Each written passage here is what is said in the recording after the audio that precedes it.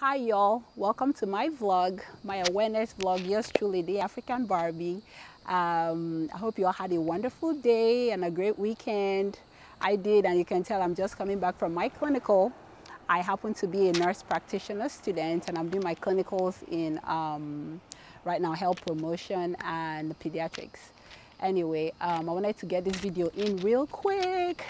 Um, what did I want to talk about today? I just kind of had a blood moment, y'all. I want to talk about diet. So the past few weeks, we've been doing lifestyle modifications. And in my journey with breast cancer, I stated to you all that I wasn't eating well. I was just eating whatever. I ate all the time. I ate the wrong foods. And now we're trying to figure out how to reduce our risk through diet because diet is key. You are what you eat. I believe in it. Some people don't, but I do. Um, so this video, we're going to do vegetables, right?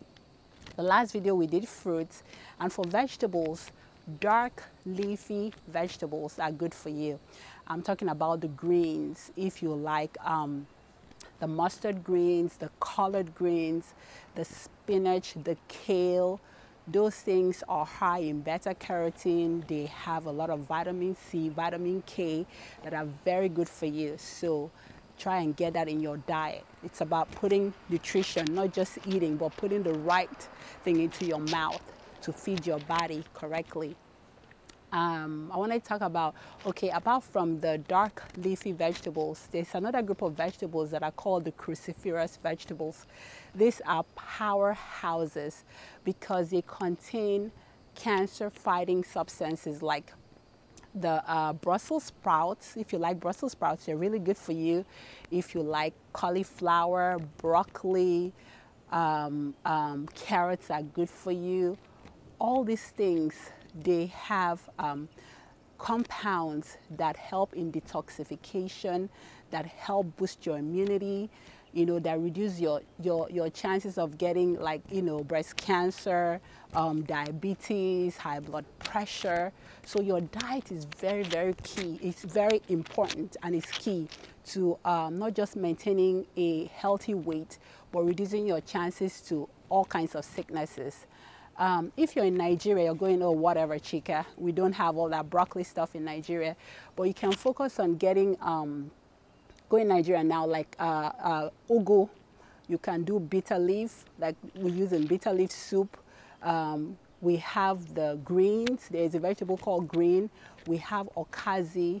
We have um, water leaf. So we have so many greens that we put in our soups. So instead of just putting a little, try and get your three to five or five or more servings of fruits and vegetables. Put lots of it in your, in your soup. That way you get the right amount of vitamins and, and fiber and, and, and, you know, things that your body, to feed your body to stay healthy and to boost your immunity. Um, I wanted to say something else. Ooh, girl, I'm tired, y'all. Um, I wanted to say something. What did I want to say? So I talked about the, the dark leafy vegetables, and then I talked about the cruciferous vegetables.